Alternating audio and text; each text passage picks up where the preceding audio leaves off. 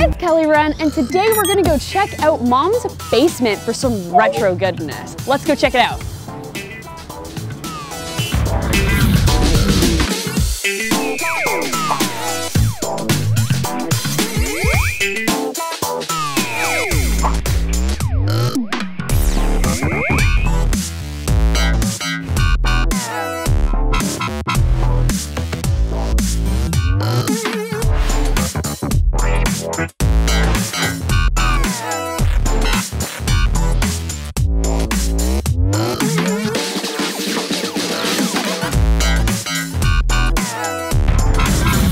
Okay, so tell you about Mom's Basement and what we do here. All right, well, I mean, we're a bar.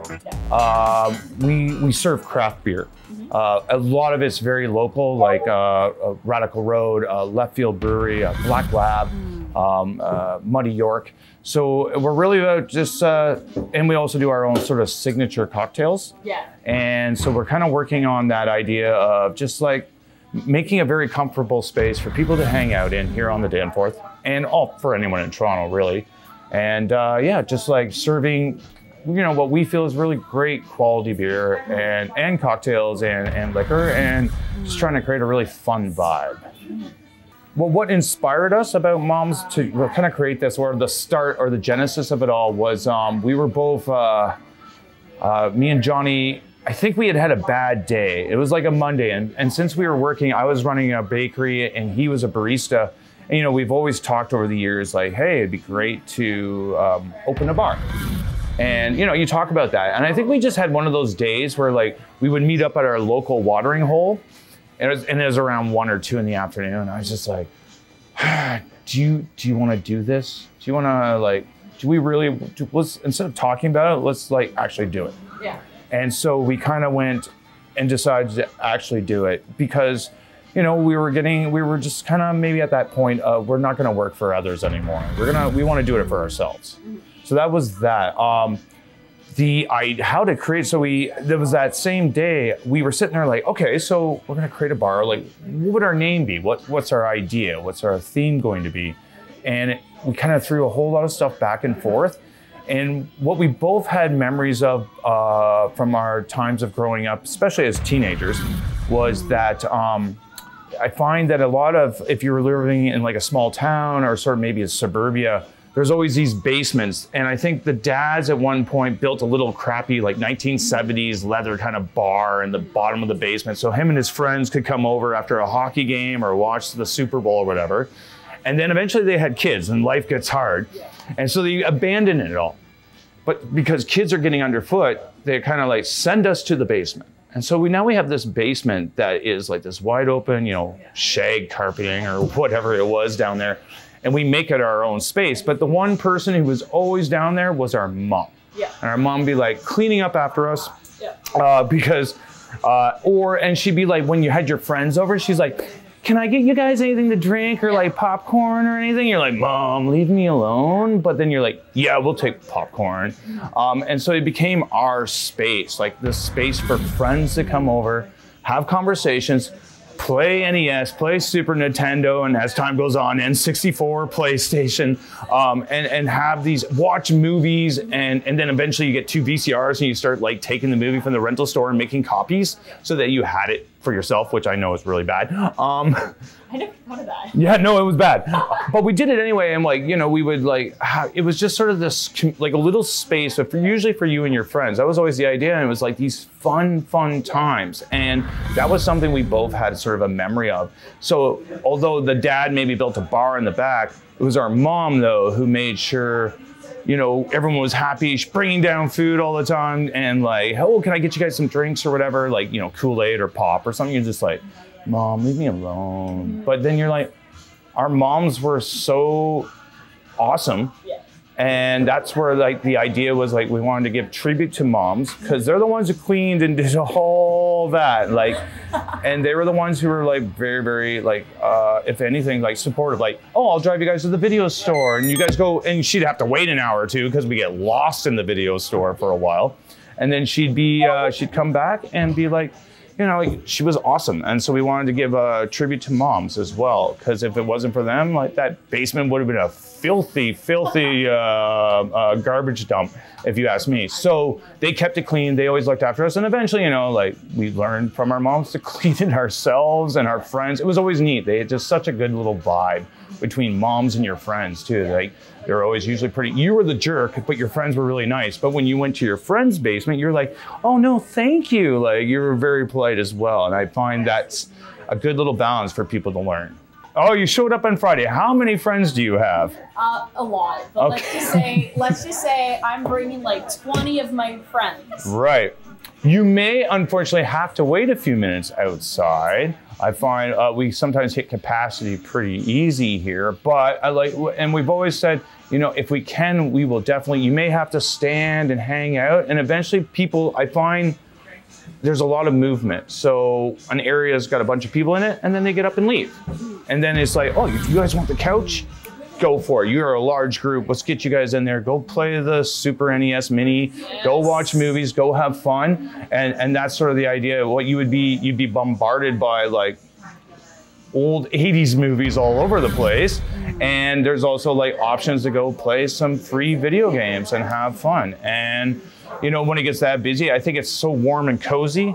I think I think everyone just sort of has a good time. There's also like little games we have over there for you to grab and just go play with. So, Very cool. how do we stand out from all the competition? Um, I think a lot of that competition is they're you know they got bigger spaces than we do. Um, what we do offer is like all the games are free. Um, we're not doing sports. We're not charging cover.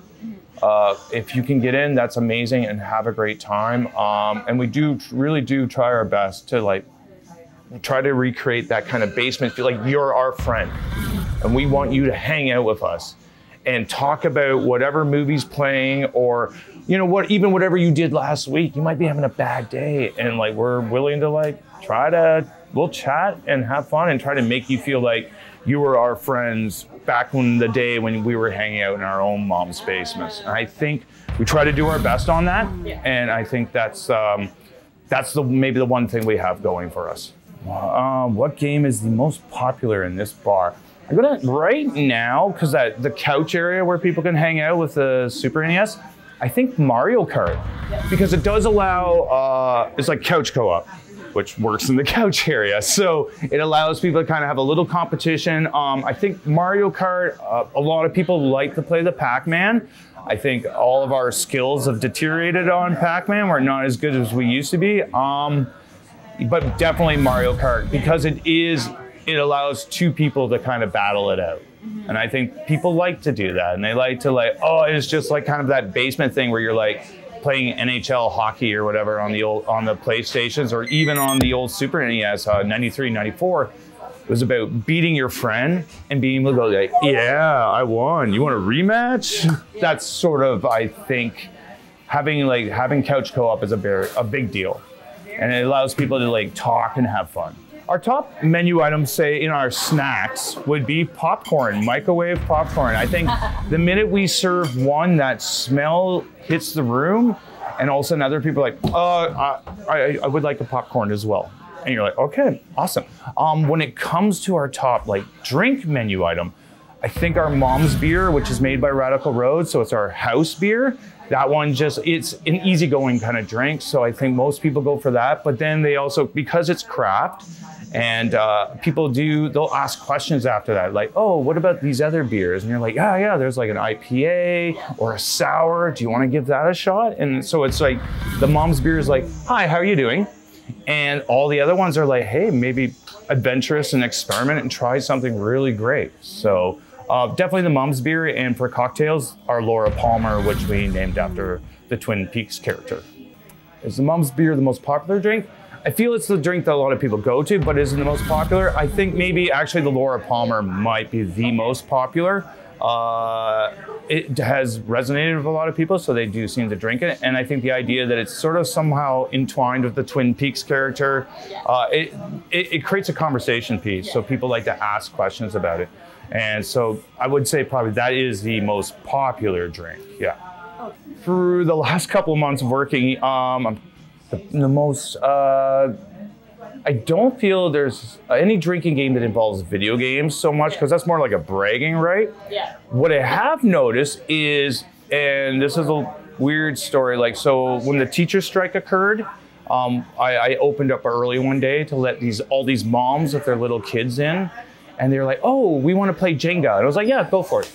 And then I went, "No, I can't let you play Jenga." I had to go through the pieces because somebody wrote on all the blocks.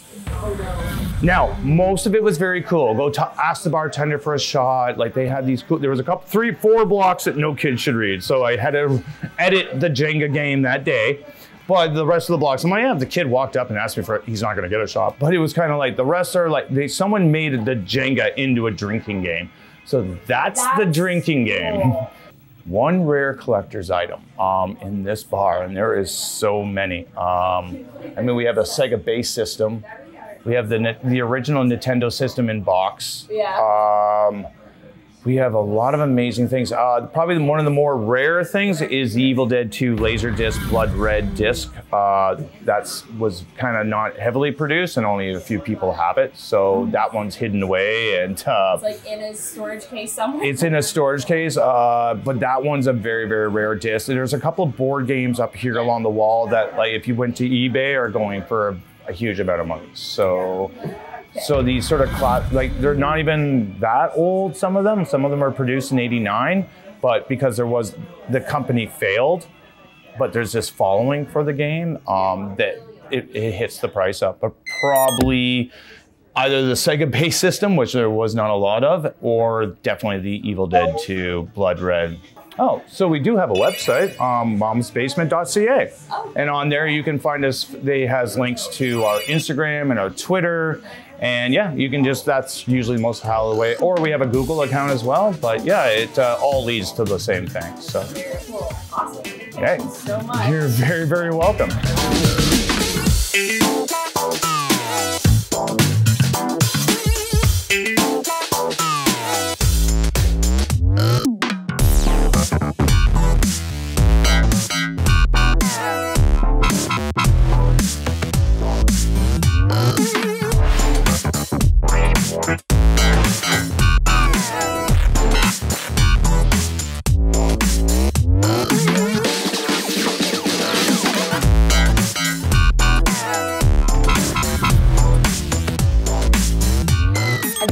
It, guys. That was Mom's Basement, and I hope you guys really like this video.